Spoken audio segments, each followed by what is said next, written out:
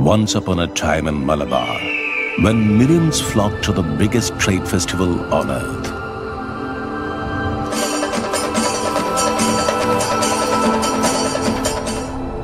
a king and his men sat on a throne of bloodshed.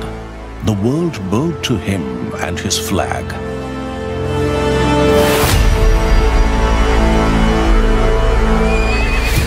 Warriors from across the river bloomed like roses and challenged the evil.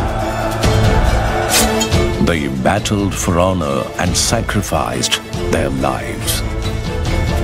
From the ballads and history, a tale of a miracle boy warrior who found valor and the legend of the greatest unknown hero who lived by his sword and word. When hate, passion, revenge, and the art of war blends, the final battle hate begins.